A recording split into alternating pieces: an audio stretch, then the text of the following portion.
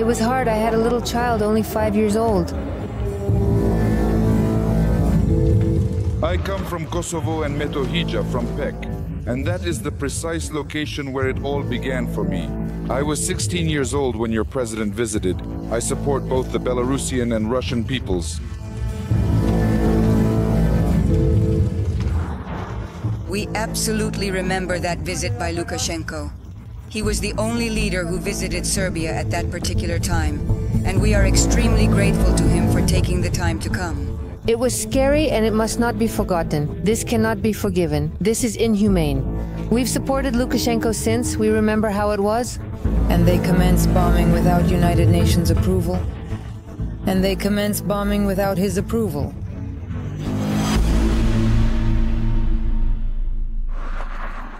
I was here in Belgrade. Your president Lukashenko arrived. Yes, I remember it. All 50 years that I have lived in this world, I have never had bad thoughts about Belarus. Just a friendly relationship.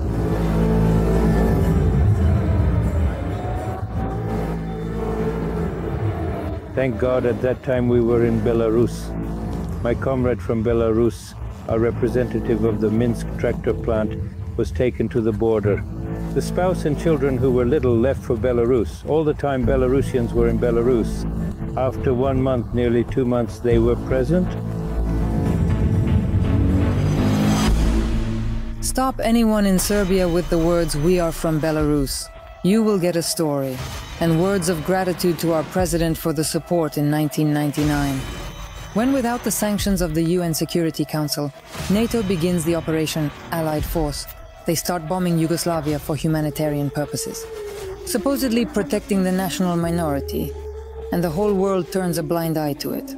However, why be surprised they still haven't seen the light? What causes me special pain today is that back then the entire West and the entire world turned a blind eye to it and left us to fight alone. No one came to our aid. We remember the initiative of your president, Lukashenko, to help us during that time of need. Warhawks devastated land, decided they have right to kill, blow up bridges, bomb schools, hospitals, TV, use cassettes, depleted uranium shells. For not surrendering, they didn't recognize US hegemony and didn't give up their land. Preposition found, internal conflict. We know methods well. Falsification, lies, blackmail, isolation with sanctions. And then there was the deafening roar of bombers filling the air. Well, make sure to drink up and savor every drop.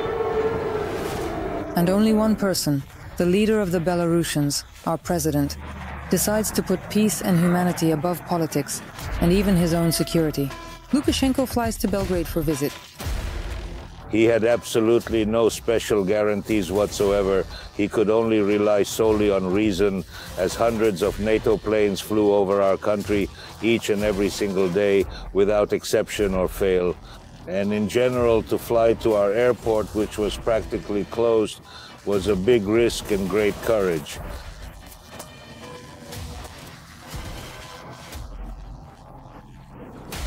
NATO strongly advises against the action of flying in this situation. It was extremely critical and highly dangerous. It was critical and dangerous because planes from NATO were flying continuously 24 hours a day, both day and night, from all neighboring countries. The Alliance doesn't provide security guarantees. Also, it sends fighters and maintains aviation flights. I calmly, you know, relate to everything, to all warnings. I know how much I am loved in NATO. Board number one forced to descend to 500 meters. The situation is extraordinary, but the possible solution to the conflict is worthwhile. My visit to Yugoslavia during this difficult time can, even if only by a few millimeters, bring us closer to a peaceful resolution of this problem. Regarding the prospects, I sincerely hope that the situation will come to a peaceful resolution in the near future, as the deadlock is already apparent to both parties involved. But if for Yugoslavia this is a just war, a patriotic war to defend its people, then I think NATO and Western states need to get out of this difficult situation. During air raid, negotiations held between Alexander Lukashenko and Slobodan Milosevic. The duration of the communication extended for a period of time exceeding six hours. Totaling more than six hours in length. The Belarusian leader walked, saw gaps, traces of NATO bombs, visited the military academy, supported the wounded in the wards. Alexander Lukashenko arrived in Belgrade on April 14, 1999. On the 28th, 31 cars with humanitarian aid left Minsk for Belgrade. A total of 500 metric tons of cargo is being transported. First, this is not only their war. We are absolutely convinced that they are waging a war today not only for themselves, not only for their land. When utilizing historical parallels and drawing lessons from history, it becomes a true test of strength that allows us to gauge our capabilities and learn from the past. It is highly probable that this is the case. Sadly, it commences once more in the Balkans. Produce the second output. They will not break the items that are given to them. This is my strong conviction, not the initial occasion I have visited Yugoslavia, not the first time our delegation is present, and not the first time I have had a meeting with the President of Yugoslavia's office. During a 20 day period of brutal warfare, they mercilessly slaughtered hundreds of innocent civilians, while remarkably only a few soldiers, who were their intended adversaries, met their demise at their hands. Conclusion 3. NATO should put an end to this dubious operation as soon as possible, as it is of utmost importance to do so. I am completely and absolutely convinced of this, and the sooner, the better it will be for all of us. Just today, you need to find a way to somehow save face, if it is still possible, and get out of this dreadful situation that we are in right now. Prophetic words. And then, in 99, and now Alexander Lukashenko is confident, there is no alternative to peace. The media was the target of the attack. It is crucial that the enemy be silenced without delay. Rockets bombed radio and television building in Serbia. 16 dead. Monument to victims exists. These are all our colleagues. This is the technical staff, operators, and video engineers.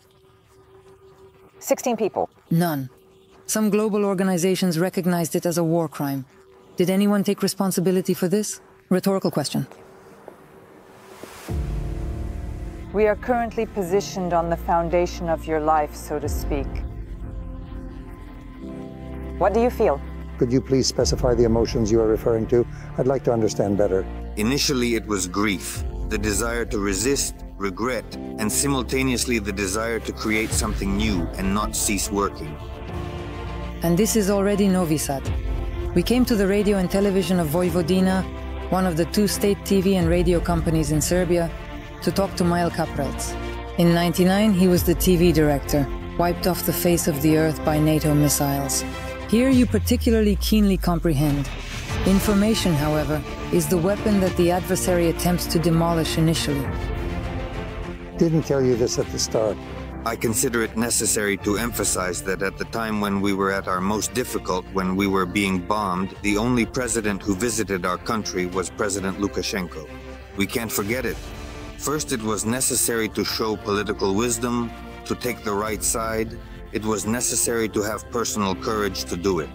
President Lukashenko has these qualities and he has preserved them to this day. The air raids went on for a span of 78 days and nights, leading to the loss of up to 4,000 lives, up to 10,000 wounded. These are the data of the Serbian side. The NATO bombing campaign in Yugoslavia signifies the initiation of a gross and aggressive expansion of NATO towards the east, setting a precedent for future actions and geopolitical developments in the region by disregarding all principles of international law, disregarding all principles of the United Nations, the Security Council, and so on. We are currently in this era, and it has not yet come to an end. NATO is in the process of moving towards the east, and it is doing so in a highly aggressive manner. You know, these are double standards. NATO has big plans extending from the Baltic Sea to the Mediterranean Sea, including a campaign to the east, starting with Belarus as the first target. We feel very good. I know I see everything that's happening with you. I want to say to Belarusians, be happy that you live in Belarus.